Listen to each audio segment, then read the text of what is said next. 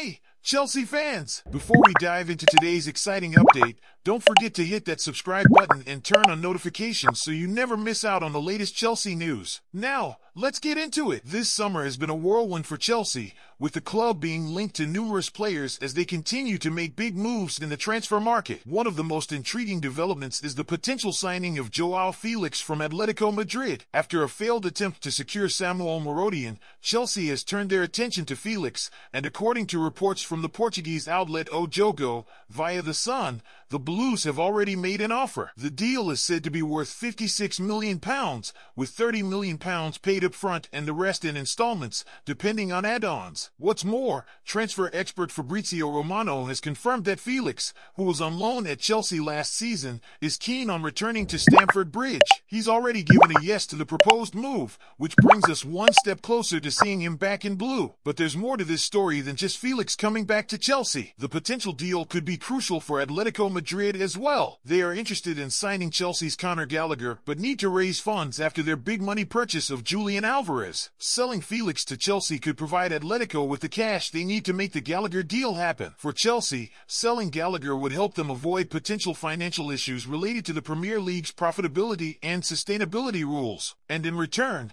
they would gain a talented player in Felix, who's ready to make his mark once again. With Felix eager to join in personal terms unlikely to be an issue, the only thing thing left is for Chelsea and Atletico Madrid to agree on the transfer fee. Considering Felix isn't a key part of Diego Simeone's plans at Atletico, this deal seems more likely to go through, with Gallagher possibly heading to Madrid in a separate transaction. So, Chelsea fans, what do you think about Joao Felix potentially returning to Stamford Bridge? And how do you feel about Conor Gallagher possibly leaving? Let us know in the comments below.